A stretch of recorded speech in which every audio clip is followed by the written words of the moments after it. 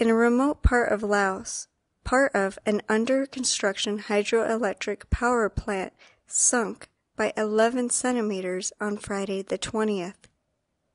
The following week, the dam collapsed. More than 5 billion cubic meters of water was released onto nearby villages. At least 19 people died, 6,000 lost their homes, and more than 3,000 are still in need of rescue. The South Korean company responsible for the dam's construction is helping with the rescue efforts.